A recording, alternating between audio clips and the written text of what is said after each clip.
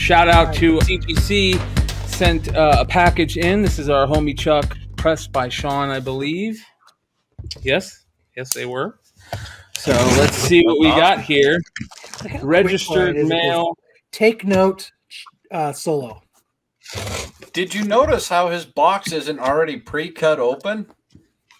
Yeah, did you notice how yours were? It still took you three hours to open one box. I gave. This is what I love about I gave CGC. detail. Is how they send packages. Look how beautiful Yes. that is. They do That such a good nice. job. I've Yeah. never gotten one that small before.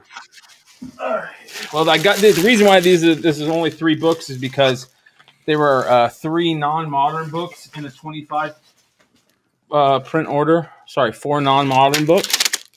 I will and tell you'll you this. see why. You guys will see why these books took so long. I will tell you this for those that are complaining about the 35 days or whatever it was. You can always go to CBCS and see how long that takes you.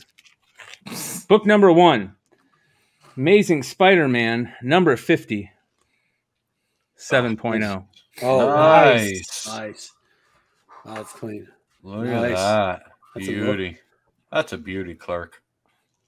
Would you like to explain the significance, Bryan, of number, First Kingpin and one of the greatest covers, Spider-Man covers of all time. A lot of homages going out there for that. Cover. Yeah. That's So- a hard cover too. Amazing Spider-Man number 50, a 7.0. Beautiful, Nice. beautiful book. Yeah.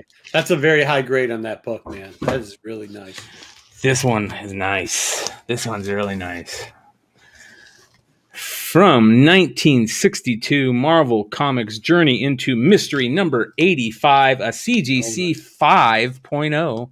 First appearance of Loki. Look Nice. at that. Yeah. You gotta think, guys. You gotta think too here when we're starting to talk about these ages and like in the That is- sixties and what high grade is in the sixties. I know you'll get one really super high every once in a while, but when you're thinking about the 5.0 sixes and sevens, that's super high grade. Once you get Yeah, that's past my five number. over to that six, that's considered like your that would be the equivalent of your like nine sixes in modern nine eights. I mean, that's crazy, dude. A five. I'm still oh. glad Chuck gave me that book. Wow, that's fucking nice. That was nice of you, buddy. Thanks. This one, uh, Oh, this one, yeah, I didn't. high I knew about this one because Sean He told knows. me.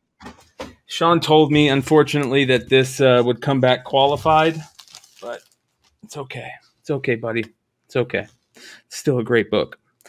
Uh, page nine missing does not affect story incomplete, so it's kind of a bummer. But Oh, bummer. What was? But, Qual- oh wait, go ahead. so it's qualified 6.0 because it page nine is missing, but it is from Marvel It's a story Comics, page.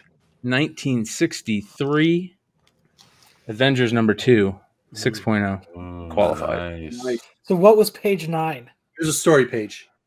Don't Yeah. know. Because if it was an ad page, it would have said ad page missing. There's So it had to be a book I don't story have. page. Because did it say it says does not affect? It says does not affect story. Oh, so it was an ad page. Okay, it's an ad page. Fine. That's nice. Who Beautiful, beautiful, beautiful. Yeah, yeah, Somebody, sure. Now- somebody sent off for the X-ray glasses.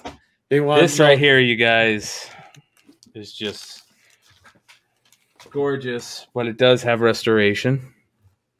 Restoration includes small amount of color touch on the cover.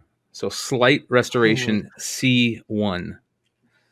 Which, by the way, back in the day, wasn't a bad thing. It was actually a good thing to get color touch. I mean, like they tried And- to make it natural. And you can get this color touch removed, I believe, um, in their restoration process. But this book is gorgeous. From Marvel Comics, 1962, Fantastic Four, number four, first Silver, Silver Age appearance of Namor. Yeah, nice.